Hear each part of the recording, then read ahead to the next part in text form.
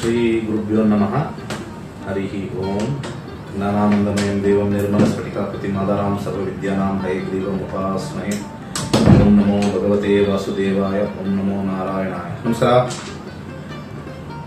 ನಕ್ಷತ್ರಾಡಿಗೆ ಸ್ವಾಗತ. ಇವತ್ತು ಬಹಳಷ್ಟು ಜನ ಮನೆ ಕಟ್ಟಬೇಕಾದ್ರೆ ವಾಸ್ತು ರೀತಿನೇ ಕಟ್ತಕ್ಕಂಥದ್ದು. ವಾಸ್ತು ರೀತಿನೇ ಕಟ್ತಕ್ಕಂಥದ್ದು. ವಿಶೇಷವಾಗಿ ವಾಸ್ತು ರೀತಿನೇ ಕಟ್ತಕ್ಕಂಥದ್ದು.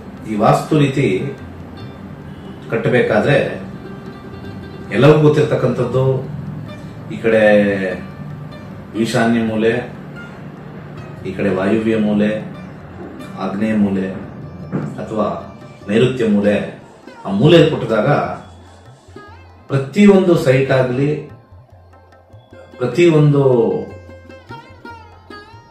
ಜಮೀನಾಗ್ಲಿ ಅಥವಾ ಒಂದು ಲೇಔಟ್ ಆಗಲಿ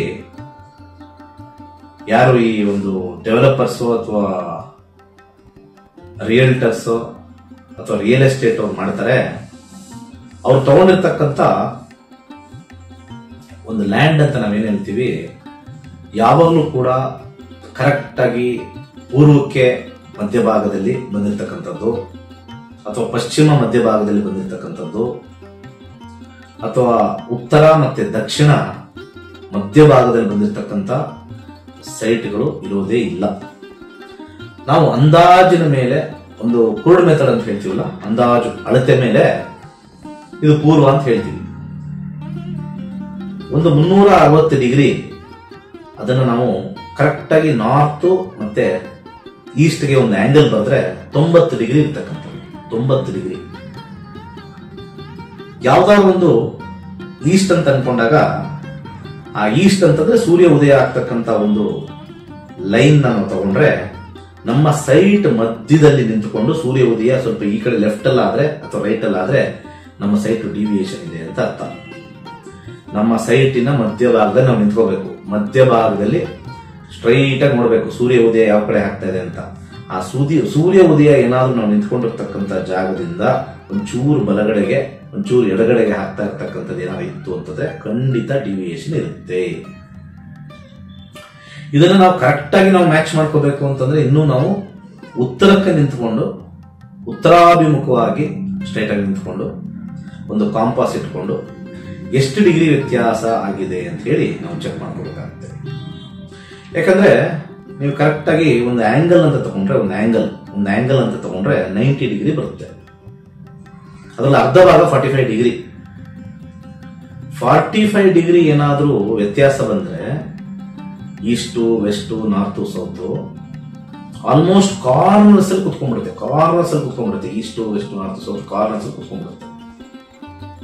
ಕಾರ್ನರ್ಸ್ ಅಲ್ಲಿ ಕುತ್ಕೊಂಡಾಗ ಸೈಟಿನ ಮೂಲೆಯಲ್ಲಿ ಸೂರ್ಯ ಉದಯ ಆಗ್ತಕ್ಕಂಥದ್ದು ಅಥವಾ ಈ ಕಡೆ ಮೂಲೆ ಸೂರ್ಯ ಅಸ್ತ ಆಗ್ತಕ್ಕಂಥದ್ದು ಮೂಲ ಇರುತ್ತೆ. ಅಂತ ಸಂದರ್ಭದಲ್ಲಿ ಬಿಲ್ಡಿಂಗ್ ಒಳಗಡೆ ಇರತಕ್ಕಂತ ಅನೇಕ ಕೋಣೆಗಳು ಸ್ವಲ್ಪ ವ್ಯತ್ಯಾಸ, ಸ್ವಲ್ಪ ಅಲ್ಲ, ಅತಿ ಹೆಚ್ಚು ವ್ಯತ್ಯಾಸ ಬರ್ತಕ್ಕಂಥ ಸಾಧ್ಯತೆ ಇರ್ತಕ್ಕಂಥದ್ದು. ಆ ಕಾರಣದಿಂದ ಹೊಸ ತಂತ್ರಜ್ಞಾನವನ್ನು ಈಗ ಅಳವಡಿಸ್ಕೊಂಡಿದ್ದೀವಿ. ಈ ಹೊಸದರಲ್ಲಿ ನಿಮಗೆ ಕಾಣಿಸುತ್ತೋ ಹೆಂಗೆ ಅಂತ ಗೊತ್ತಿಲ್ಲ. ಸ್ವಲ್ಪ ದೂರ ಇರಬಹುದಿಲ್ಲ ಇದು ನೋಡಿ, ಈ ಒಂದು ಮುನ್ನೂರ ಅರವತ್ತು ಡಿಗ್ರಿ ಪ್ಲಾನಿಂಗ್ ವಾಸ್ತು ಯಾರು ಮಾಡೋದಿಲ್ಲ. Three sixty degree planning vastu ಅಂತ ಇದನ್ನು ಕರಿತೀವಿ. ಯಾಕಪ್ಪ ಅಂತಂದ್ರೆ ನಮ್ಮ ಬ್ರಹ್ಮಾಂಡ ಇರ್ತಕ್ಕಂಥದ್ದು ಒಂದು ಗೋಲಾಕಾರದಲ್ಲಿ. ಹಾಗೆ ನಮ್ಮ ಸೌರಮಂಡಲದಲ್ಲಿ ಎಲ್ಲಾ ಗ್ರಹಗಳು ರೌಂಡ್ ಆಗಿ ಸುತ್ತೋದು. ನಮ್ಮ ಭೂಮಿ ಕೂಡ ಸೂರ್ಯನ ಸುತ್ತ ರೌಂಡ್ ಆಗಿ ಸುತ್ತುತ್ತೆ. ಹಾಗೆ ಭೂಮಿ ತನ್ನಂತ ಸುತ್ತಬೇಕಾದ್ರೂ ರೌಂಡ್ ಆಗಿ ಸುತ್ತೋದು. ಅದಕ್ಕೆ ಒಂದು ಚಕ್ರನ ಮುನ್ನೂರ ಅರವತ್ತು ಡಿಗ್ರಿ ಮಾಡಿದ್ದಾರೆ. ಹಾಗೆ ಒಂದು ಸೈಟ್ನ ನಾವು ಇದೇ ರೀತಿ ನಾವು ಒಂದು ರೆಕ್ಟ್ಯಾಂಗಲ್ ರೆಕ್ಟ್ಯಾಂಗಲ್ ಸೈಟ್ ತಗೊಂಡಾಗ ಒಂದು ಯಾರಾದ್ರೂ ಫಾರ್ ಎಕ್ಸಾಂಪಲ್ ಒಂದು ತರ್ಟಿ ಫಿಫ್ಟಿ ಅಂತ ಅನ್ಕೋಣ ತರ್ಟಿ ಬೈ ಫಿಫ್ಟಿ ಇದೆ ಅನ್ಕೋಣ ನಾವು ಅದನ್ನ ಏನಾದ್ರು ಭಾಗ ಮಾಡಿದಾಗ ಫಿಫ್ಟಿಯಲ್ಲಿ ಸ್ವಲ್ಪ ದೊಡ್ಡ ದೊಡ್ಡದು ಭಾಗ ಆಗುತ್ತೆ. ಆದ್ರೆ ತಟ್ಟಿಲಿರ್ತಕ್ಕಂಥ ಸಣ್ಣ ಸಣ್ಣ ಸಣ್ಣ ಸಣ್ಣ ಭಾಗ ಆಗುತ್ತೆ. ಅಂತ ಸಂದರ್ಭದಲ್ಲಿ ಈ ಒಂದು ರೆಕ್ಟ್ಯಾಂಗಲ್ ಕ್ಯಾಲ್ಕುಲೇಷನ್ ರಾಂಗ್ ಬರುತ್ತೆ. ಒಂದು ಕಡೆ ಬಹಳ ಚಿಕ್ಕ ಚಿಕ್ಕ ಚಿಕ್ಕ ಚಿಕ್ಕ ಬರುತ್ತೆ. ಅಲ್ಲಿ ನಾವು ಡೋರ್ ಇಡ್ತಕ್ಕಂಥ ಒಂದು ಜಾಗ, ಹಾಗೆ ಒಂದು ಮಾಡ್ತಕ್ಕಂಥ ಒಂದು ದೇವರ ಕೋಣೆ ಮಾಡ್ತಕ್ಕಂಥ ಒಂದು ಜಾಗ, ಅಥವಾ ಈ ಕಡೆ ಬಂದ್ರೆ, ಈ ಕಡೆ ಸೌತ್ ಕಡೆ ಬಂದ್ರೆ ಅಡಿಗೆ ಮನೆ ನಾವು ಸ್ವಲ್ಪ ದೊಡ್ಡದಾಗಿ ಇಡಕ್ಕಲ್ಲ ಚಿಕ್ಕದಾಗಿ ಇಡಕ್ಕಲ್ಲ ಸ್ವಲ್ಪ ಸೌತ್ ಮೂವ್ ಆಗ್ತಕ್ಕಂಥ ಜಾಗ ಬಹಳಷ್ಟು ಹೆಚ್ಚಾಗಿರುತ್ತೆ. ಅದಕ್ಕೆ ಮಾಡರ್ನ್ ವಾಸ್ತು ಏನಾಗಿದೆ? ಮಾಡರ್ನ್ ವಾಸ್ತು ಏನಾಗಿದೆ? ರೆಕ್ಟ್ಯಾಂಗುಲರ್ ಸೈಟೇ ತಗೊಳ್ಳೋಣ. ರೆಕ್ಟ್ಯಾಂಗಲ್ ಇರ್ತಕ್ಕಂಥ ಸೈಟೇ ತಗೊಳ್ಳೋಣ. ಈ ರೆಕ್ಟ್ಯಾಂಗಲ್ ಸೈಟ್ ತರ್ಟಿ ಬೈ ಫಿಫ್ಟಿನೇ ಅನ್ಕೊಳ್ಳೋಣ. ಆ ಸೈಟಿನ ಮಧ್ಯಭಾಗದಿಂದ ಇಲ್ಲಿರ್ತಕ್ಕಂಥ, ಈ ಪ್ಲೇಟರ್ ಇರ್ತಕ್ಕಂಥ ಸರ್ಕಲ್ನ ನಾವು, ಈ ಪ್ಲೇಟರ್ ಇರ್ತಕ್ಕಂಥ ಸರ್ಕಲ್ ಇದೆಯಲ್ಲ, ಈ ಪ್ಲೇಟರ್ ಇರ್ತಕ್ಕಂಥ ಸರ್ಕಲ್ ಈ ಸರ್ಕಲ್ನ ಅಲ್ಲಿ ಅಳವಡಿಸ್ಬಿಟ್ಟು ಎಲ್ಲಾ ಝೋನ್ಸ್ ನಾವು ನೋಡ್ತೀವಿ.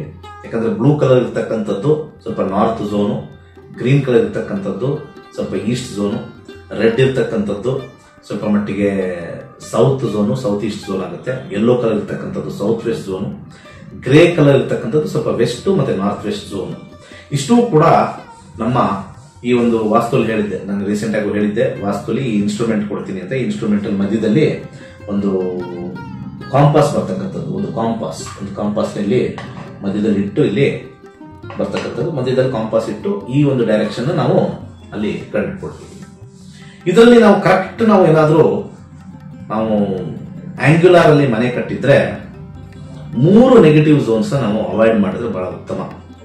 ಅಲ್ಲಿ ಬೆಡ್ರೂಮ್ ಆಗ್ತಕ್ಕಂಥದ್ದು, ಅಥವಾ ಅಲ್ಲಿ ಏನಾದರೂ ಒಂದು ದೇವರ ಕೋಣೆ ಆಗ್ತಕ್ಕಂಥದ್ದು, ಅಥವಾ ಲಿವಿಂಗ್ ಏರಿಯಾ ಏನಾದ್ರು ಬಂದ್ರೆ ಅತ್ಯಂತ ಸಮಸ್ಯೆಯಲ್ಲಿ ಉಂಟಾಗ್ತಕ್ಕಂಥ ಒಂದು ಕಾಂಬಿನೇಷನ್ ವಿಶೇಷವಾಗಿ ಆ ಮೂರು ನಮಗೆ ಡಿಪ್ರೆಷನ್ ಝೋನ್ ಅಂತ ಬರ್ತಕ್ಕಂಥದ್ದು ಬರುತ್ತೆ. ವರಿ ಝೋನ್ ಅಂತ ಬರುತ್ತೆ. ಎಕ್ಸ್ಪೆಂಡಿಚರ್ ಅಂತ ಬರ್ತಕ್ಕಂಥದ್ದು.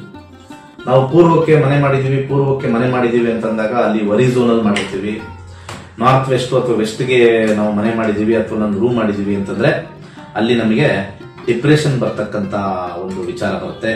ಹಾಗೆ ಸೌತ್ ವೆಸ್ಟ್ ಅಲ್ಲಿ ತುಂಬಾ ಜನ ಹೇಳ್ತಾರೆ, ನೈಋತ್ಯ ಮತ್ತೆ ಕುಬೇರ ಮೂಲೆ ಕುಬೇರ ಮೂಲೆ ಅಂತ, ಕುಬೇರ ಮೂಲೆ ಅಲ್ಲಲ್ಲ, ಕುಬೇರ ಮೂಲೆನೇ ಇರ್ತಕ್ಕಂಥ ಉತ್ತರ. ಆದ್ರೂ ಕೂಡ ಕುಬೇರ ಮೂಲೆ ಅಂತ ಹೇಳಿದ್ರು ಕೂಡ ಅಲ್ಲಿ ಒಂದು ಝೋನ್ ಬರುತ್ತೆ ಎಕ್ಸ್ಪೆಂಡಿಚರ್ ಆಗ್ತಕ್ಕಂಥದ್ದು.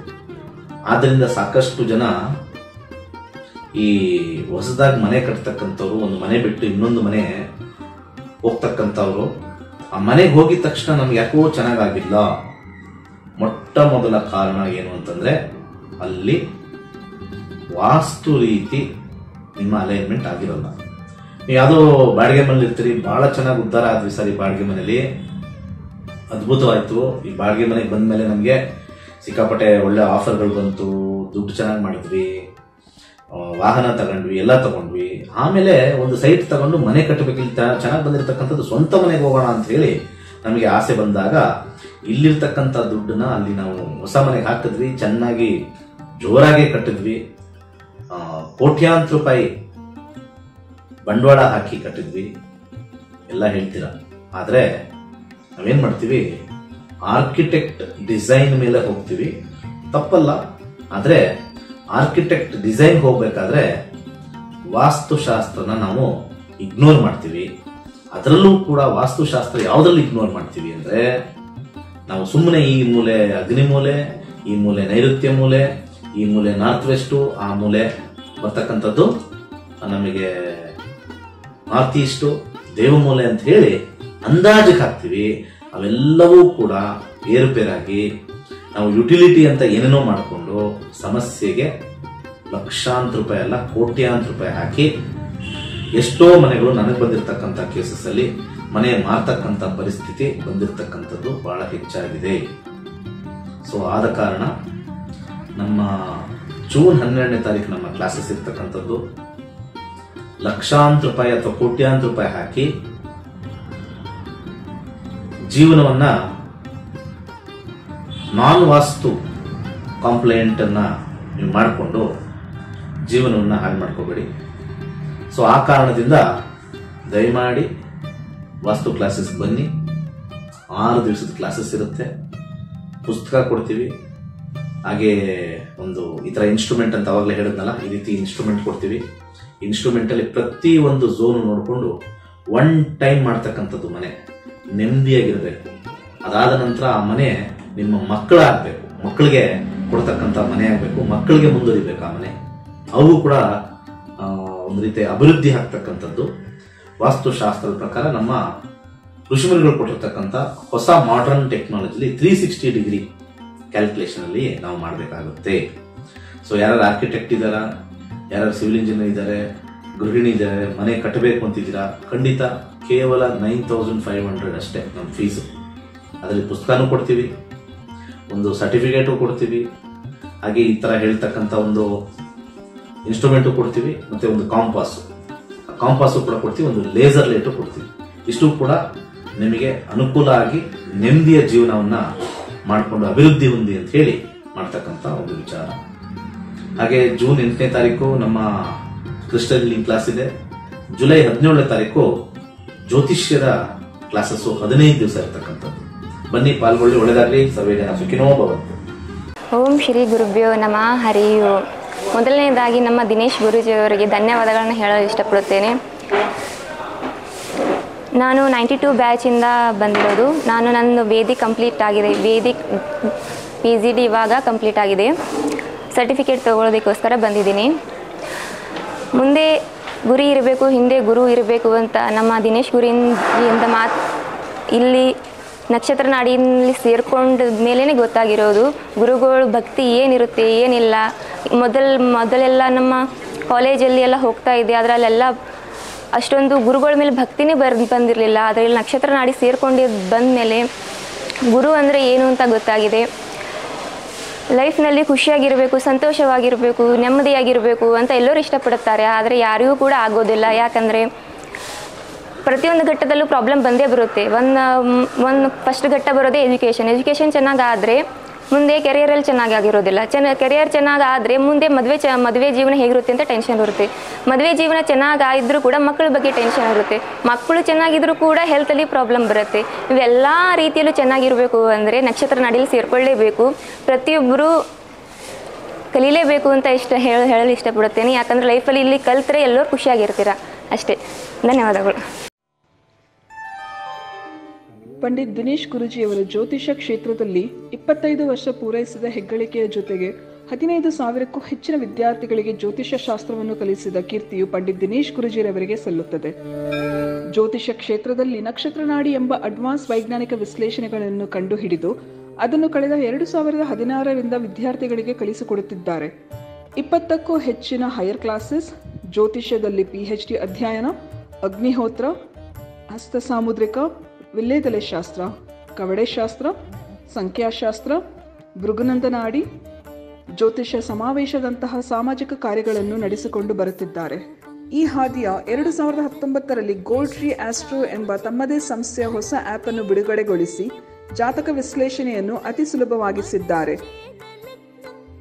ಆಧುನಿಕ ಯುವ ಜನತೆಯನ್ನು ಗಮನದಲ್ಲಿರಿಸಿ ಜ್ಯೋತಿಷ್ಯ ಶಾಸ್ತ್ರವನ್ನು ಅತ್ಯಂತ ಸರಳವಾಗಿ ಅರ್ಥವಾಗುವ ಹಾಗೆ ಆಪ್ ಅನ್ನು ಸಿದ್ಧಗೊಳಿಸಿ ಸಮಾಜದಲ್ಲಿ ಎಲ್ಲರಿಗೂ ಅರ್ಥವಾಗುವಂತೆ ಸರಳೀಕರಿಸಿದ್ದಾರೆ. ಜಾತಕ ವಿಶ್ಲೇಷಣೆಗಳಲ್ಲಿ ನೂತನ ಪದ್ಧತಿಗಳನ್ನು ಅಳವಡಿಸಿ ವೈಜ್ಞಾನಿಕ ವಿಶ್ಲೇಷಣೆಗೆ ಸಾಕ್ಷಿಯಾಗಿದ್ದಾರೆ. ಮನೆಯಲ್ಲಿ ಕುಳಿತು ವಾಟ್ಸಪ್ ಹಾಗೂ ಝೂಮ್ ಆಪ್ ಮುಖಾಂತರ ಕೇವಲ ಹದಿನೈದು ದಿನಗಳಲ್ಲಿ ಜ್ಯೋತಿಷ್ಯವನ್ನು ಕಲಿಯಬಹುದು. ಈ ತರಗತಿಯ ಜೊತೆಗೆ ಹದಿನೆಂಟು ತಿಂಗಳ ಉಚಿತ ಆಪ್ ಬಳಕೆ ಮತ್ತು ಐಎಸ್ಒ ಪ್ರಮಾಣ ಪತ್ರವನ್ನು ನೀಡಲಾಗುತ್ತದೆ. ಬನ್ನಿ, ಜೊತೆಗೂಡಿ ನಮ್ಮ ಹಿಂದೂ ಪರಂಪರೆಯ ವೈಜ್ಞಾನಿಕ ಜ್ಯೋತಿಷ್ಯವನ್ನು ಎಲ್ಲೆಡೆ ತಲುಪಿಸೋಣ. ಹೆಚ್ಚಿನ ವಿವರಗಳಿಗಾಗಿ ನಮ್ಮ ಗೋಲ್ಡ್ ಟ್ರೀ ಆಸ್ಟ್ರೋ ಸಂಸ್ಥೆಯನ್ನು ಸಂಪರ್ಕಿಸಿ. ಧನ್ಯವಾದಗಳು. ಪಂಡಿತ್ ದಿನೇಶ್ ಗುರುಜಿಯವರು ನಡೆಸಿಕೊಡುತ್ತಿರುವ ಚಕ್ರ ಹೀಲಿಂಗ್ ಕ್ಲಾಸಸ್ ನಮ್ಮ ದೇಹದಲ್ಲಿನ ಸಪ್ತ ಚಕ್ರಗಳ ಸಮತೋಲನವು ವ್ಯಕ್ತಿಯನ್ನು ಸಂತೋಷದಾಯಕ ಮತ್ತು ಆರೋಗ್ಯಕರ ಜೀವನವನ್ನು ನಡೆಸಲು ಸಹಾಯ ಮಾಡುತ್ತದೆ. ಈ ಮೂರು ದಿನಗಳ ತರಗತಿಯಲ್ಲಿ ಸಪ್ತ ಚಕ್ರಗಳ ಸಮತೋಲನೆ, ಏಕಾಗ್ರತೆಯನ್ನು ವೃದ್ಧಿಸುವ ಕ್ರಮ, ಸಂಪತ್ತಿನ ಆಕರ್ಷಣೆ ಹಾಗೂ ಆರೋಗ್ಯಕರ ಅಭ್ಯಾಸಗಳನ್ನು ಹೇಳಿಕೊಡಲಾಗುತ್ತದೆ. ಇದರಲ್ಲಿ ಸಪ್ತ ಚಕ್ರಗಳ ಕ್ರಿಸ್ಟಲ್ಸ್ ಹಾಗೂ ಅದನ್ನು ಉಪಯೋಗಿಸುವ ಕ್ರಮ, ಆರೋಗ್ಯ ವೃದ್ಧಿಸಲು ರೇಖಿ ಹೇಳಿ ಸಪ್ತ ಚಕ್ರಗಳಿಗೆ ಅನುಗುಣವಾಗಿ ಎಸೆನ್ಷಿಯಲ್ ಆಯಿಲ್ ಹಾಗೂ ಅದನ್ನು ಉಪಯೋಗಿಸುವ ಕ್ರಮ ಸಪ್ತ ಚಕ್ರಗಳಿಗೆ ಬೀಜ ಮಂತ್ರಗಳು ಇತ್ಯಾದಿಗಳನ್ನು ತರಗತಿಯಲ್ಲಿ ಚರ್ಚಿಸಲಾಗುತ್ತದೆ. ಆರೋಗ್ಯಮಯ ಜೀವನಕ್ಕಾಗಿ ಇಂದೇ ನೋಂದಾಯಿಸಿಕೊಳ್ಳಿ. ಹೆಚ್ಚಿನ ವಿವರಗಳಿಗಾಗಿ ನಮ್ಮ ನಕ್ಷತ್ರ ನಾಡಿ ತಂಡವನ್ನು ಸಂಪರ್ಕಿಸಿ. ಧನ್ಯವಾದಗಳು.